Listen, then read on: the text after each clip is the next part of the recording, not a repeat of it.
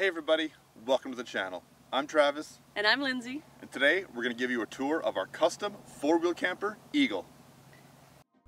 So this is us, and this is what we're doing. We custom built this four-wheel camper to live in full time, and we're taking it on the Pan American Highway. We quit our jobs and a comfortable life in Canada to find adventure and meaning. Journey with us as we explore this giant world. We are Travis and Lindsay, and we are just traveling. So this we have here is a 2012 four-wheel camper, Eagle. And it's sitting on a 2014 Toyota Tacoma SR5. Now we have a full build of this truck on our channel. If you want to check that out, I'll put the link for that video in the description for this video. And you can check that out whenever you feel like. So we have a 270 degree Foxwing awning that is fantastic for days like this on the beach and just hanging out to try and get away from the sun. We also have this jerry can mount that we uh, use for extra fuel when on the road. It's just mounted to the place where the jacks mount and we don't have those on the trip so it's it's it's great. We also have some marker lights with amber housing for nighttime as well. For night we have these rear lights which emit a lot of light so it's great. Here we have our propane tanks we have two 13 pound propane tanks for fuel for our stove and for our furnace. We have gas assist struts for lifting up the roof, which is great because we do have some added weight on there with some solar panels. On this side, the only thing of note is our furnace exhaust. And don't touch that when it's hot. All right, let's move to the inside. That's why you're all here, and we'll check out what's going on in there.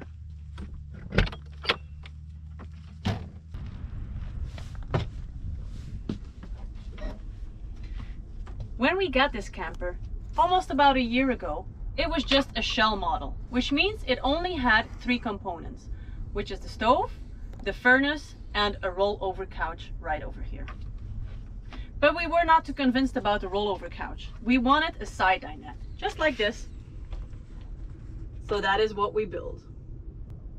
We eventually decided to keep the brackets from the rollover couch and make our own seat.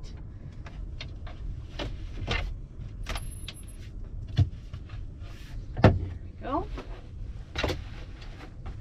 And just like that, we have our own little bed. So we made our rollover couch into a lounge seat. And also, when it is bad weather and we need to sleep with our top down, I have a bed to sleep on and Travis can sleep on the floor. But we're going to get it backed up again, just like this.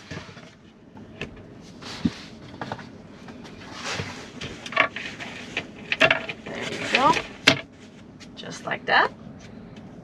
And we're going to put the table back.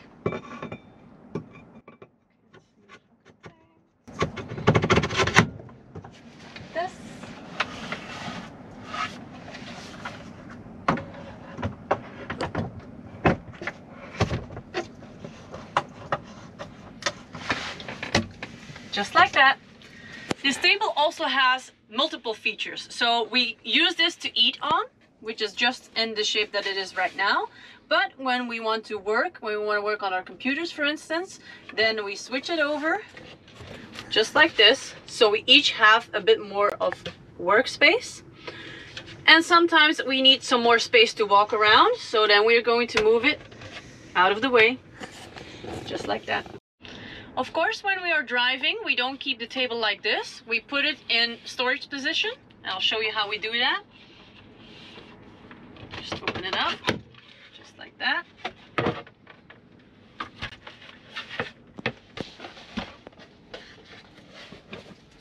Fix it here. Fix the other one. Right over there. And like this, it can't go anywhere.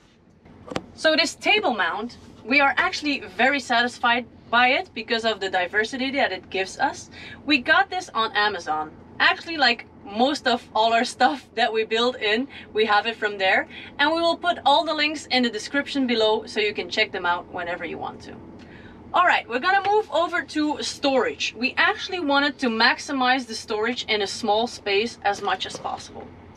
We had these storage boxes that already came with the camper on the moment that we bought it. The only thing we did there is just add a little bit of color uh, to make it our own. Just like that. So they open we actually put our toiletries in there. So Travis has his own and then this is mine. And then we have two side uh, pockets there where we just put in cables and little things. But we also have the extra storage that came with this seat that we built. Show you. So just like that, we have a whole box full of storage where we can put uh, spare clothes. We have our vacuum in there and some extra toilet paper, which is important too obviously. We wanted more. We wanted more storage. We still did not have a spot where we could put our clothes in. So we built two cupboards. We have this one here for Travis's clothes with the packing cubes that come with it. And then over here, let me just show you. Over here we have my uh, closet where we also used the packing cubes to make it uh, nice and clean. And then we had an empty space down there, which we wanted to use as uh, storage for shoes because we've got lots of shoes and lots of clothes, but it all fits in here. So we're really happy about that. Okay, moving on to our bed. Now it is nicely tucked away, but once it is slid out, it is actually the size of a queen bed. I'll show you how we do it.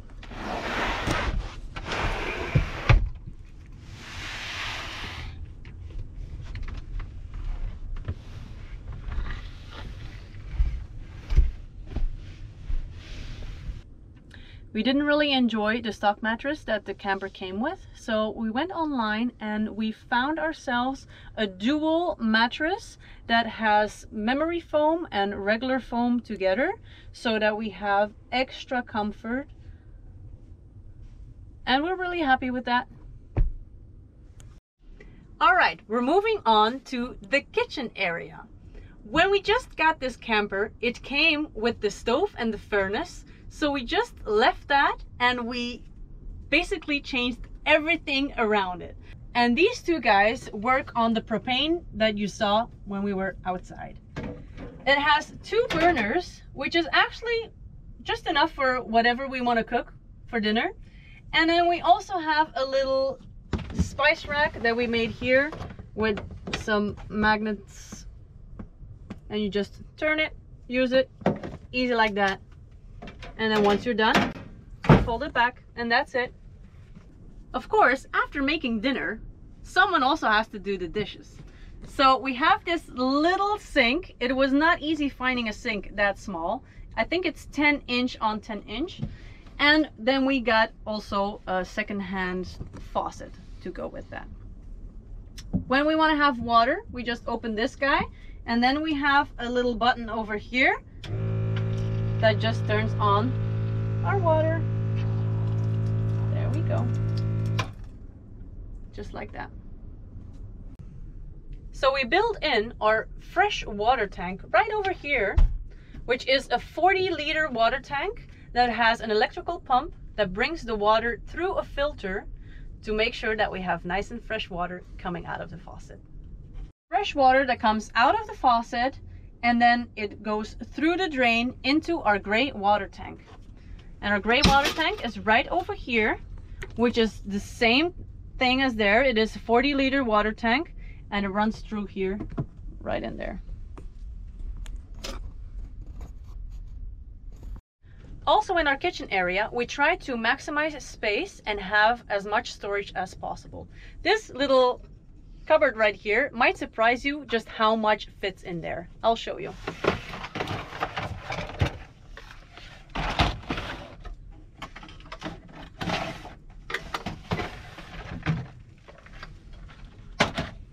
So we have everything here from extra spoons to knives to everything else that we need. So that's all fitting just under there. And then there is another little cupboard that we have, which is located right under here. where we store mostly our coffees and teas which you have over there.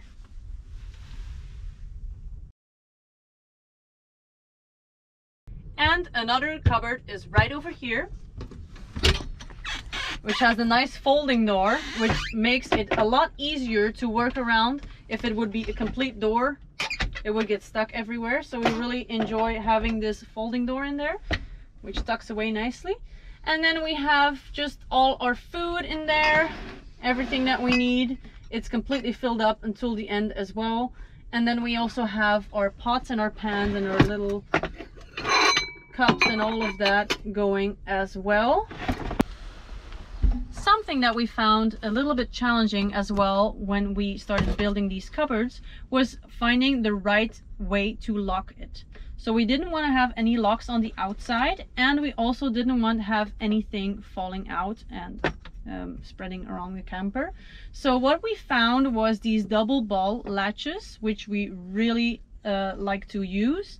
You can also change the strength on it so if you need it a little bit more tight, then you can do that as well. Also from these guys, we'll put the link in the description below. So definitely check these out. I think that's a must for when you're building a camper or a van.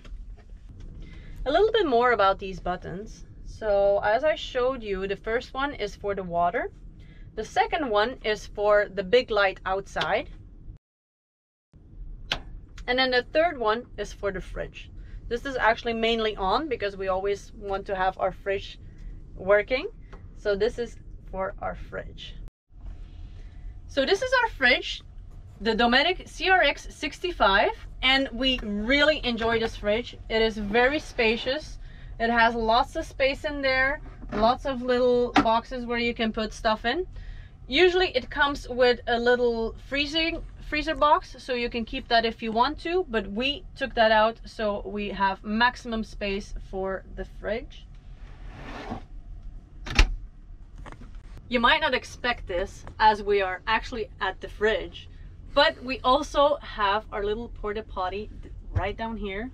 There was one thing that I said to Travis that I definitely had to have which is my own porta potty so I can use the washroom whenever I need to show you that.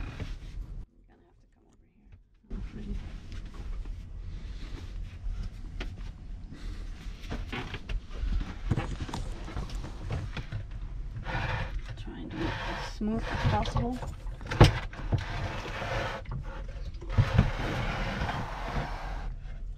The porta potty is a Thetford 135 which is actually the smallest one of its kind, but that's perfect for us because it was the only one that would fit into our unit.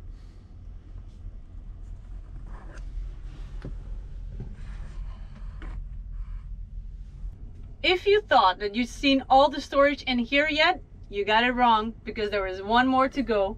We have this beautiful seat here, which is also again full of storage. So we've got our games in here. We have our writing material, also headphones, everything that is necessary for our laptops is right in there.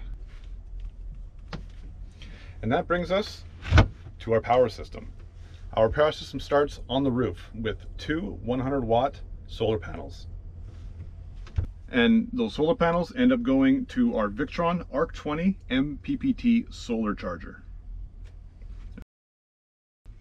The solar charger also duals as our battery monitor as it will show the battery level, the battery voltage, the voltage going into the battery, and the amperage going to the battery. There are some other features with it too, but we don't really use them. So we actually ditched the original two lead acid batteries as they were heavy and old and didn't provide enough uh, amp hours as our single 100 amp lithium polymer battery. We love that battery, expensive, but um, you can drain a lithium battery a much further in voltage than you can with lead acid. So it was a, it was a no-brainer. So attached to our lithium battery, we have an AC inverter. Now this inverter uh, attaches to our two plugs, one in the kitchen and one in the living room. Our one in the living room has both the 120 volt plugs and two USB chargers. Mostly we just run laptops and small appliances like that on them It's been great.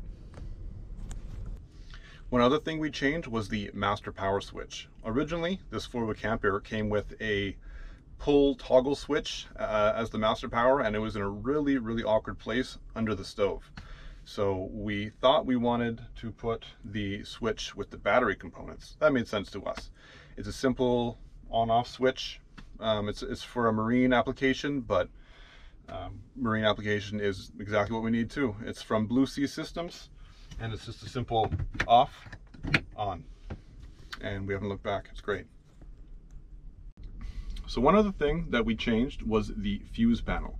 The original fuse panel that came with this camper only had about six accessory slots. With like a lot of the electronics we bought for this camper, we use a Blue Sea Systems and we use the 12 port accessory uh, uh, fuse panel. We ended up putting some extra accessories on, like the water pump. That was obviously not in here before. And we also put in this USB charger. It is a dual USB charger that charges at 5 amps.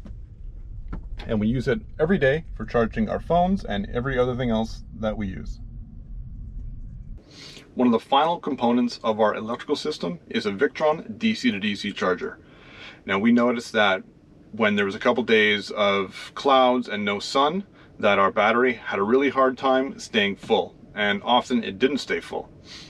So we bought this device and there's only been a few times where we've actually needed it, but we're glad we have it because it's come in handy. Now unfortunately it's not an automatic one. We had to buy the manual one because that's all that was available at the time. But to counter this issue, we had to put it on a switch that's in the truck. So whenever we know it's time to charge, we switch it on, it starts charging. It's perfect. And the last thing we're going to go over for the camper build is our custom turnbuckle doors. The camper has four turnbuckles that mount the outside of the camper down into the outside of the truck bed. And it was a bit of a headache on how we wanted to design these. We ended up designing some sliding uh, doors on all four corners that has just worked out for us completely custom job. We love it. So hopefully you enjoyed our full tour of our customized four-wheel camper Eagle. If you have any more questions, just drop a comment below. Our journey takes us all the way down to Argentina along the Pan American Highway. If you don't want to miss any of that action, don't forget to check out our channel on YouTube and subscribe. Thank you.